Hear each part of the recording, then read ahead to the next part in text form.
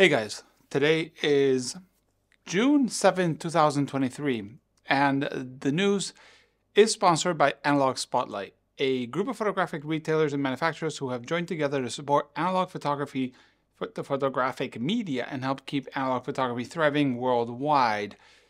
The brands are Cameradactyl, Cosmophoto, Chroma Cameras, Reveni Labs, RealitySoSubtle, Intrepid Cameras, Pixl-latr, Brooklyn Film Camera, Ondu Cameras, Standard Cameras, 20th Century Cameras, Pictoria Graphica, Analogue Wonderland, Cinestill, Large Format Camera Store, Carmencita Film Lab, RH Designs, Imago, and Alvandi Cameras. So, you might be wondering, why hasn't there been any news? Basically, life got in the way. Why the set looks like this? Basically, the life got in the way. So, I have so many news to share with you guys that I've just decided either I put a news out now and I clear the slate and I don't make the set look good or uh, yeah, basically we'll never get done. So this is action-packed news. Lots of things that I might miss. Lots of things that I won't go into detail. But I'm to say something. If there's any piece of news that you think you want to hear more about, please leave a comment below. The highest pinned ones or upvoted ones will be the ones I'll try to talk more in depth about. And there's a lot to talk about. So let's get straight into it. First of all, Kodak Alaris is for sale. I made a whole podcast about this, but let's basically explain Kodak Alaris, or Kodak went into bankruptcy funded Alaris as the UK pension fund, blah, blah, blah, guarantee, and this created Alaris. They took care of the still photography film, which means our Portra, our Ektar, our Tri-X, all this stuff, but also chemicals. Then they sold the chemical division to this company called Sino Promise that we'll talk in a minute. And this uh, Kodak Alaris has been the distributor and the marketing uh, part of the still photography part of Kodak. The one making the film, the one making the motion picture film, the one in the US is Kodak Rochester or Eastman Kodak or something like that. Uh, that one is not for sale. Alaris is for sale. Um, I don't know why. There's no real news on the why or the how, but my guess is it's not profitable as Alaris itself. And I hope and keep my fingers crossed that maybe Kodak, Eastman Kodak Rochester, the ones making the film in the factory, you know, everything will reabsorb Alaris and they can be all one under one roof. But then we have the Sino Promise. So seems like Sino Promise is going bankrupt. Sino Promise is a company based in China that bought basically the chemical division of Kodak from Alaris, and this is almost like, you know, it sounds like a, you know, soap opera, and started manufacturing or was manufacturing chemistry and also paper for many labs and so on. It's been a disaster ever since this happened. I don't know if it's been because of the pandemic or it's been about materials, about the Chinese government or imports or tariffs or Fuji or who knows what. But basically, the it's China, so obviously Sino Promise is not going to flag up like, worry, we went bankrupt, we're closing.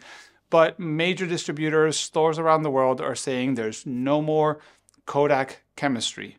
Before you go all crazy, first, Kodak chemistry has been made by everybody but Kodak for many, many years, and the recipes are probably still part of Sino Promise or someone else, and they probably won't go to waste. There are also lots of copies of D76 and Dektols out there, so a lot of other places are pitching in to try to produce this stuff. But remember, we still have Ilford, chemical uh, chemical line, and we have Adox chemical line, and we have Freestyle with a chemical line, and we have Flic Photo with their chemical line, and we have all these other chemical lines, Bellini and others that are still around. So film is not going anywhere. Let's go to the next one. We have Reflex uh, Lab Trim Cutter. So Reflex has been doing all kinds of cool gizmos from a semi-automatic spooling machine from bulk rolls to like trim cutters for the leader for your film, like the Reservoir, but one that's actually like a scissor one that actually works really well with like uh, Santacolor or film that has a stronger base. They've made what I call the lab trim cutter, which is the in the beginning of the roll if you're respooling. So you click it and it's easier to reload reloadable canisters. There's some people using the reloadable canisters, uh, like I think Lomography is doing it. Some factories in China are using it. Uh, Flic Film is using it in Canada and I guess some other places. So this is the edition that they've made. Then we have FOMA with the Ortho 120 film in 400 ISO. This was something someone hinted to me while a while ago. I put it in the news and someone said, it can't be done. No ortho film is 400. I am no chemical expert or film emulsion expert, but it seems that Kodak, I mean, sorry, FOMA, has announced this 400 speed black and white orthochromatic film in 120. You can buy it now from Maco Direct and other stores, plus FOMA themselves, probably other stores in your local neighborhood. Support your local neighborhood store if there's any. Um, it's pretty cool to have. Um, then we go to FOMA. While I was researching the FOMA Ortho, I found out the FOMA sells DX code stickers. If you are one of those bulk loading guys, uh, you know that DX film stickers used to be a thing. They disappeared, but seems FOMA has brought them back in a couple ISOs, not that many. But basically, these are stickers that have metal conductive whatever, so that your DX code reader in your point and shoot camera or super cool SLR that's ugly and fantastic uh, will read your uh, ISO and will or DX code and will do what it has to do with the roll. That's pretty cool. I don't think anybody's talked about it. Then we have our big friends in Ilford with their weird and strange ultra large format window order. So Ilford once a year, thank you Ilford for doing this once a year, does all the quirky, weird, random ultra large format film sizes for anybody to order for the minimum quantity of one box. Do remember that Kodak does this too, but you have to put like $15,000 to special order or sign up the Canham cameras and go into an order. But Ilford does it one box uh, minimum. Certain like emulsions and sizes, there has to be a global amount because you know it needs to be. But it's pretty cool. It's open now. Talk to your retailers. Ilford has a list of who's in the partnering program, uh, so you can you know pitch in and get your 14 by 17 uh, HP5 to shoot those you know Yosemite landscapes. So then we go into Diva. Diva has a price increase. Diva is a processor made in Italy. Price increase coming, just in case you want to know. The price increase will be in the picture I'm showing now. No idea if it's 1%, 2%, 10%, whatever it is. Everything's gone up, so it's understandable. Then we have someone's made a 3D printed motion picture camera. And it's not the first one we've seen, but this one's super cool for a couple things. First of all, all 3D printed except obviously for some motors and stuff, but it created a like a Super 8 frame in a roll of 35 and you would might think, well, that's a waste of space. Like 35 is like 24 millimeters tall. Uh, we're talking it's shooting in the cinema scope, so or cinema orientation, so like half frame size. But if it's Super 8, it's only shooting that small size. Well, he's made like a movable shutter hole, or whatever you call that, to expose the roll in different spots. It does four swipes or exposures in the roll. So you're getting four strips of film with exposed, which means that one roll of film, I think three rolls of film is like the equivalent of a 50 foot Super 8, whatever. It's super cool honestly, if I could do more than grab a screwdriver and, you know, grab a hammer and put a nail in the wall, I would build this, but I am not good with that kind of stuff. No 3D printing for me.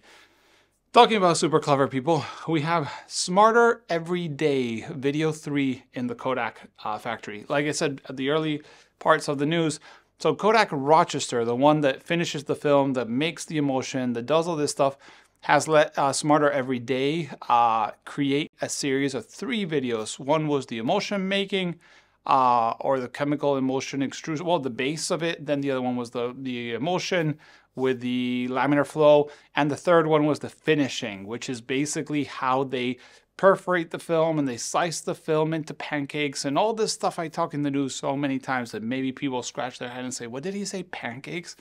Uh, I'm hungry for breakfast. But basically, it's really cool to see the whole operation for Kodak. You can get a glimpse of the numbers, the people that are hiring or they've hired and the production capacity and problems they've been running into and the passion that people put into working at Kodak. That's one thing I always will say working here in Finland uh, for a store that actually refurbishes, fixes and, you know, is trying to fix the future of film cameras is nobody's in this anymore for the money. It's basically for passion. Um, so I can't even afford socks myself. But uh, basically, it's all for passion. And seeing Kodak employees have been working there for over like longer than I've been alive and still super passionate about what they're doing is really cool. So thanks for this video. I'll leave the link below if you haven't watched it, you're missing out. And then in sadder news, we have Hasselblad discontinuing their H series of cameras. So as you know, Hasselblad became extremely famous with the V series. That's the 5001 or the 500CM, 500C, you know, the modular camera we all come and love uh, to love. But the H was the one they made with Fuji. It's the AF1 that has like the grip integrated and it has like a bunch of stuff. They converted that to digital and it's been living for, I guess, a couple decades pretty much now. And now I guess mirrorless is here to stay and they've discontinued the H series. So I guess no more cameras. I don't think any more lenses, probably whatever remaining stock will go out the door. And after that, it's gone. So yeah, sadly, H is gone. It was the last Hasselblad film camera per se. Um, then we have double uh, film with a glitch film. Dubblefilm specializes in special effects films, that's what I call them, which are films with pre-exposures or patterns or colors and all that stuff. Glitch is kind of like a VHS glitch. Honestly, I don't really think it looks very realistic, but some people like uh, special effects films. You have it from Dubblefilm now. Then we have from Stearman Press the SP445 uh, I guess, or 465, because now they're making a six tank one, six sheet one. 9 by 12 uh, inserts. They have basically, I think, included 3D printed file. It basically, if you're shooting 4 by 5 or 9 by 12, it's the European size, was a little uh, narrower. Yeah, narrower. Well, in the width side, it was shorter. Uh, instead of 10 centimeters and 9 centimeters. I don't know that, 4 inches to like 3.75 inches and 2 eighths. Um, basically, these are like little frames that hold your 9 by 12 film on their uh, film holders for developing film. So it's like the inserts. This is pretty cool. So you can do 9 by 12 on the Stearman press. It's my favorite tank for non-rotary developing 4 by 5 I guess 9 by 12 too.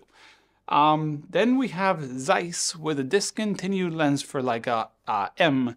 The ZM85F4 is discontinued. Honestly, probably not very popular lens. It's an f4, which, you know, people long lenses want kind of like cool depth of field and Leica sells like a 91.25. I guess people want that. But this 85 is kind of weird. It was for the Zeiss Icon, had frame lines for 85, but it's discontinued. F4 is long gone. You can go to 90 mil from other brands or 75 if you want. Then we have the, this is the worst name. There's so many bad names on film photography sometimes. AstrHori light meter. Basically a light meter made in China for your cold shoe, hot shoe, non-light metered camera. It's available wherever you can find it, but it's come out. It's, I don't think it's very nice, but yeah, if you want to buy it, it's out there. Then talking about Flic Film, there's Flic Film Chrome 100. This is what, when Kodak announced that they had done 35 mil film for, I think it was the TV show Euphoria, which I haven't watched, and they were doing some cross processing or bleach bypass, who knows what. Uh, super cool stuff.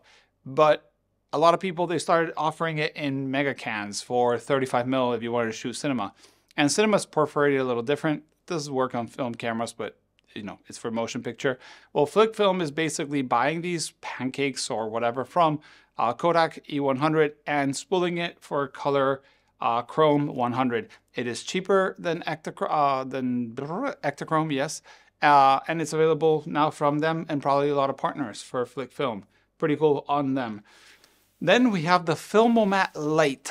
If you've been following Filmomat, they have been doing high-end processors with very low yield. He did modify it to have more yield, But one thing that was hard is the price point. It was around four to five thousand. I think it's four thousand four hundred or four thousand euros for the for the Filmomat, and that didn't really reach you know the entry level guy that wants to develop with more than just like you know inverting their own tank.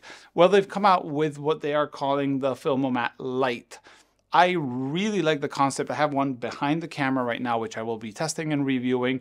Uh, Lucas basically sent it for me to do a review. It's not paid. He won't watch it before anybody else. But I have to say, first impressions is really nice. This is a water bath that holds a sous vide, doesn't come included, with three bottles or four, I think it's three, that do come included. And they're the, basically the Jobo bottles. They're very common in chemistry and film photography with two rollers that hold a round tank. So it can do Paterson, it can do AP, it can do Jobo tanks and even I guess some metal uh, tanks. And then it has like a motor that you basically put on top with a rubber wheel and you control the speed. So you're heating the water with a sous vide. You're doing a timer with a phone or an app or a little watch or clock. And then you basically just have to lift the motor, open the lid, empty the chemistry, put the chemistry back in and do it. So it's kind of like a Jobo CPE 3 without a lift or a CPP whatever without a lift. But for $3.99 entry level price and $4.99 once it's sold the first batch.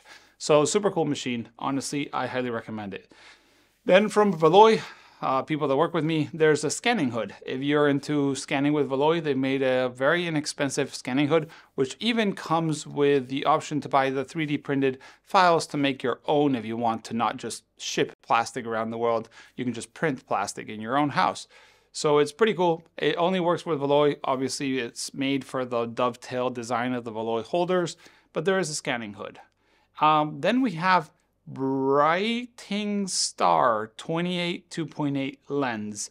This is a lens for Leica M uh, mount. It's a 28 mil rangefinder um, coupled, but it really looks like the MS optics. So I'm kind of not a big fan of copying this hardcore, but it's available wherever that is available. I've never heard of this brand or this lens. Then we have Chroma Cameras, who's a sponsor of the show, with the Chroma 6 camera and the Chroma 6x17, which came out a couple days ago. So these, uh, the 6 is the smallest camera. It's almost like a like a back of a Hasselblad, uh, but it holds Mamiya press lenses. It does 6x6 and has some cool features. Uh, and then the 6x17 is the other way around. It's like the widest boy you can get. Um, 6x17 plastic fantastic camera with the mount, I guess, for large format lenses because those have a circle for 6x17, but you can get them at Chroma cameras. Um, then we have the Xintax and Bintax update. If you've never heard of this before, basically when FP100C left us, uh, people stepped up to do Polaroid and Instax uh, backs for our trusty and loved, you know, cameras. One of them being uh, the Binstax and Xinstax for the RB67 and the RZ67. This is done by hand with a ton of parts, but they've made a humongous article, a blog post about everything that's been happening behind the scenes. But they're coming out, uh, or they're you know they're working on making more, and they've been delivering and shipping, and there's YouTube videos so you can watch if you want. But it's it's a cool uh, update of the behind the scenes of making a physical product. Then we have Pentax. So uh, let's start with the lens. Pentax has announced two new lenses, two 50 millimeter lenses, both with aperture control manually, which means they will work on all cameras. It's not only electronically controlled like the Canon EF mount or EOS mount, uh, but they've made two versions, one with modern coatings and one which they call classic, which has like the more film older stuff with like um, with uh, flares and lower contrast and funky stuff. So, I mean, it's not bad, it's just different. So they have these two options, which is really nice to see that Pentax has continued keeping the line of manual aperture so you can use it on like old cameras, but also, you know, making stuff that is still usable in today's standards and old standards.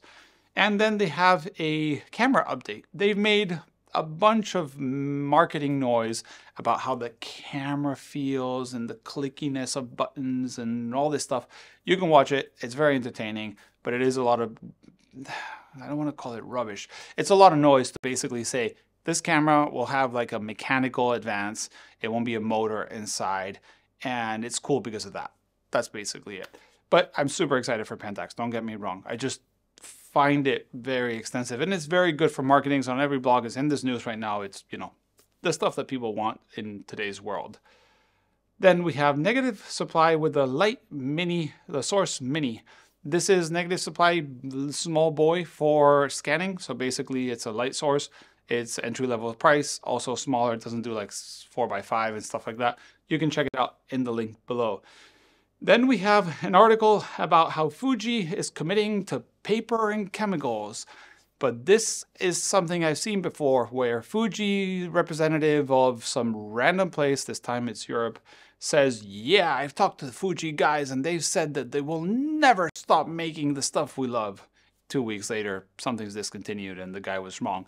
So I hope he's not wrong. This is my wishing, uh, wish uh, thinking, hopeful thinking, experience with Fuji is that when someone says is nobody's going to touch this emulsion, it disappears the next day. But hopefully it's true. But Fuji commits to paper, and this is uh, RA4 paper, which is both hybrid, so it works in the chemical process, but also works in the uh, the digital optical process, but with chemicals. So it can be used in the darkroom by people like me, or it can be used in a lab with machines that I could never afford because they're more expensive than a house. So it's pretty cool to see if they are committing to this because chemicals for color is going to be one of the problems that we might have in the future. Then we have Bee's processor, original processor. For those who don't know, Baunet Photo has a processor that's all very modern and very funky and does a lot of cool stuff but they've released the super, I think this is actually free download, and I would check on the website because I've done the news like in weeks. Uh, it basically is a very inexpensive or free processor to do self-developing at home with tanks. So it's just a motor that spins one way and another way and so on. So you can check the link below. One of our sponsors, Ondu Cameras, is uh, dipping their toes, look, I can even do it with my toes, dipping their toes into the large format camera business with an actual non-pinhole camera. So they're moving to lenses and not uh, pinholes with the ACAN camera.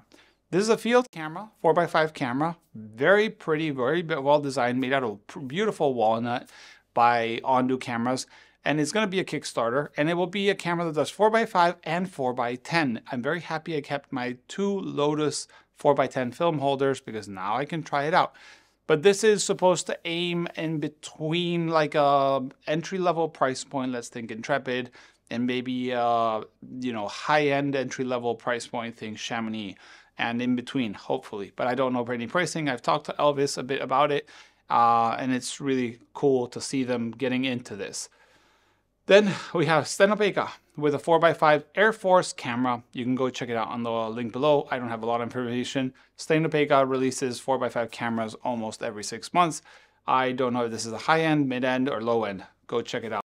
Their website is terrible, by the way. So if Stenopeka, if you're watching this, please invest a little on your website. Every time I go, I don't know what is new, how to click it, where to find it. It's, it's really complicated. Then we have Film Lab Desktop. So Film Lab, Film Lab Desktop app has come out with version 2.5. And I think for the first time since this app on software has been out, they made a manual. And I was working on a video, which I hope to do, about how it works, but it's a beautiful software to invert and convert your film scans. So if you're digitizing with a camera or with a scanner and you want, or even with your phone and you want to invert, uh, Film uh, Lab has the desktop version uh, 2.5. It's really nice.